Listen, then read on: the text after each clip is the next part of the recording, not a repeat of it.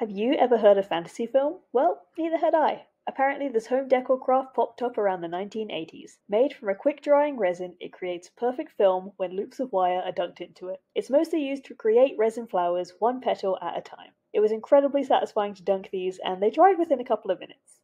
I was wondering what else I could use the petals for, and obviously I went for a flower lamp. I would describe the texture of the petals to be like foil balloons. They wrinkle a little when you poke them, but definitely you have to be gentle. This lamp turned out so incredibly over the top, but honestly, I love it.